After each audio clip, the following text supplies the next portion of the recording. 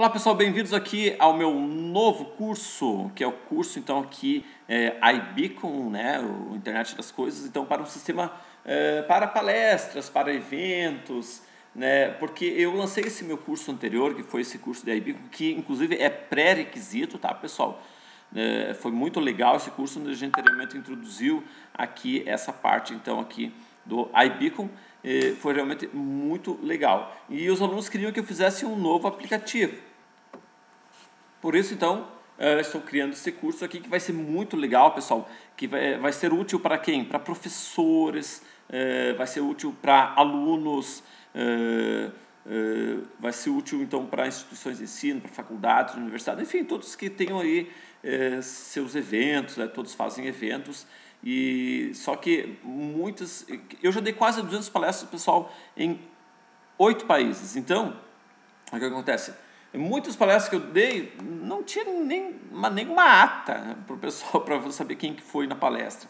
Outras tinham já mais organizado, tinham um crachazinho e tudo mais, né, as pessoas ali com crachá. Eh, eu mesmo uma vez criei um aplicativo, um software para impressão digital, né? então a gente tinha o, cadastrado as impressões digitais, o aluno só chegava, colocava o dedo ali no, no leitor ele já passava. Né? Se o cara tinha pago, liberava, senão o cara tinha que pagar. Então, uh, inclusive, foi o único sistema de, de, de impressão digital que eu já vi para isso.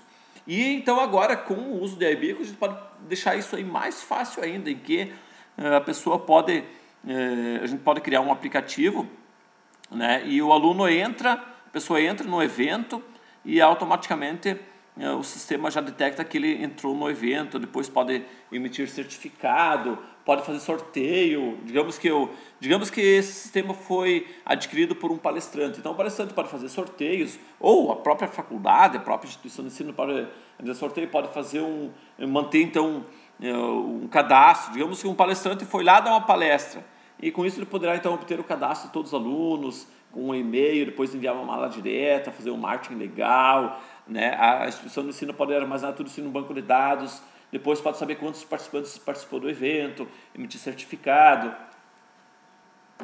saber o tempo que ficou no evento e tudo mais. Então, realmente, é uma, uma gama aí de, de possibilidades muito interessante que é, isso aqui é, possibilita fazer. Tá ok, pessoal? Então, é, sem muita perda de tempo, já vamos começar a fazer esse nosso aplicativo.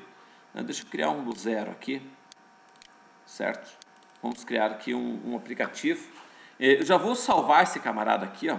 Eu criei já uma pastinha aqui chamada, então, é, esse aqui foi o meu curso anterior, tá?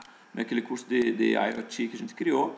Então, eu criei aqui um IoT Eventos. Já criei um, uma pastinha chamada Projeto 1, pra, só para a gente agilizar aqui. Daqui o nome é de o, é, o menu principal, pode ser? Menu principal. Já que eu só tenho essa tela por enquanto. Então, projeto 1, então, uh, iBeacon, iBeacon Eventos, ok? Beleza, então está aqui, já criado aqui, esse aqui vai ser a nossa tela principal do nosso projeto 1, que é uma introdução, tá pessoal? Isso aqui é apenas uma introdução aqui por enquanto, e claro que é, normalmente os apps eles vai ter um cabeçalho, então já, já pode botar um cabeçalho aqui, também já, já pode ter um, um rodapé aqui, Vamos botar esse, esse alinhamento aqui no bottom aqui, certo? É claro que eh, poderá ter aí, de repente, uma imagenzinha, né? Botar aqui um image aqui. Vou botar aqui um image 3D aqui, posso botar uma imagenzinha, certo?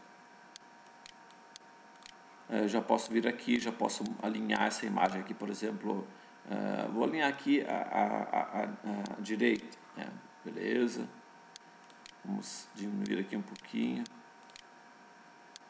Aí podemos voltar uma imagenzinha aqui, podemos voltar um label aqui embaixo, né? Tá aqui um labelzinho, certo? Podemos vir aqui, podemos uh, dar um client nele e aqui embaixo na propriedade, aqui na, no, no alinhamento horizontal do test settings aqui, eu botar central, posso escrever aqui então vídeo aulas professor Neri, né? Enfim, só para aqui na imagem, podemos vir em esse multi aqui, selecionar uma imagem.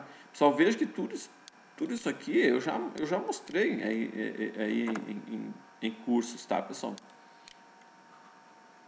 Então aqui é só para a gente já, né, já ir fazendo aqui uma coisinha lá. Ficou lá o Neri lá, beleza pura, tá? Enfim, tá? Uh, então esse aqui seria um curso de iBeacon, né? Tá aqui então uh, mais um label aqui. Certo? Aqui também a gente pode centralizar isso aqui. Aliás, vamos dar um client aqui. Aliás, perdão, client aqui. Veja que ele, ele, ele deixou a foto aqui dentro, certo? E agora a gente vai alinhar aqui ao centro, tá? Beleza, então aqui podemos colocar um text. Por enquanto, depois a gente pode mudar, né? Curso iBeacon Eventos, tá? E aí, e aí vai. Se quiser aumentar um pouquinho a fonte, aí tu tem todas as possibilidades aí para fazer uh, aí o que você quiser, tá ok, pessoal? É, temos aqui a, a, questão aqui da fonte e, e, aí vai embora, tá? Bueno, pessoal, o que, que nós vamos fazer aqui? Então, esse aqui é um sistema para controle de eventos, certo? Certo, né? É, não é que vai controlar o evento. É um, tu pode fazer depois um controle completo com isso aqui. Aqui a gente vai introduzir aqui, certo? Essa parte aqui de eventos, tá? O que, que a gente pode fazer? Na verdade, pessoal, a gente pode é, pode fazer chover com isso aqui, tá, pessoal? Literalmente, a gente pode fazer chover com isso aqui.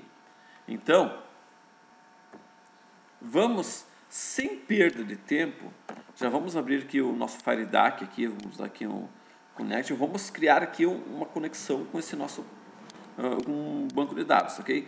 Pessoal, pensa, raciocine aqui comigo, tá? É, vamos raciocinar. Veja que eu estou fazendo já sem perder tempo, né? Uh, imagine um, um, professor que vai implementar esse sistema aqui de eventos, ou imagina uma instituição que vai implementar, certo? O que que, o, o que que eu como professor, como palestrante, o que que eu preciso saber? Ah, eu preciso saber o nome, o nome do, do, do, do aluno, eu quero saber, por exemplo, o e-mail do aluno, tá ok? Uh, a gente pode também uh, tentar identificar, então, por exemplo, se eh, se os dados estão só no celular ou estão na web. Uma coisa que eu acho interessante, pessoal, é o seguinte: claro, os dados terão que estar na internet, eles não podem ficar simplesmente eh, no celular da pessoa. Só que vamos supor que, eh, que o cara está sem internet, né? O cara vai executar o aplicativo, está sem internet. Então, isso não impede do app perguntar, por exemplo, o nome, o e-mail, ah, identificar qual é o código do celular, porque cada, cada aluno, cada pessoa que for no evento terá que ser identificado então pelo seu código do celular. Então isso nós vamos ter que implementar também. Então são várias coisas que nós vamos ter que estar implementando aqui nesse projeto, tá ok? Devagarinho a gente vai fazendo, vocês vão entendendo e a coisa vai se encaminhando, beleza. Então, primeiramente, é, vejo que eu nem estou usando data model. Como é só uma tabelinha simples, é, o que eles vão fazer? Nós vamos nos comunicar com um servidor de dados lá na internet, provavelmente na Amazon, usando o DataSnap, tá, pessoal? Só que, é, inicialmente, o que, que eu preciso ter? Eu preciso ter um, um banco de dados ou um arquivo texto local para armazenar esses dados aqui localmente. Por exemplo, ah, o código do celular, o nome do, do, da pessoa, o e-mail da pessoa, se essa pessoa foi no evento ou não foi. Eu preciso ter é, esses dados, tá certo, pessoal? Uh, então, o que, que eles vão fazer? A gente vai ter, na verdade, dois bancos. A gente vai ter um banco local, um SQLite, e nós vamos ter um banco lá na web, lá na Amazon, para depois a gente enviar esses dados lá para a Amazon. Então, o que vai acontecer? Quando o aluno baixar esse app, que ele vai baixar antes do evento, né? Então, vai, poderá ser orientado para baixar antes do evento, então, quando ele executar esse PP, eu já quero que ele cadastre alguns dados, como nome, como e-mail, armazene o código do celular. E depois, quando ele for no evento, ele já tem esses dados cadastrados. Então, não perde tempo lá no meio da palestra, o cara tem que ficar cadastrando nome, e-mail, tá ok? Então, beleza. Então, esse aqui foi nossa primeira aula. Na segunda, a gente vai começar a implementar esse banco de dados local aqui, SQLite. Um abraço, até mais e tchau.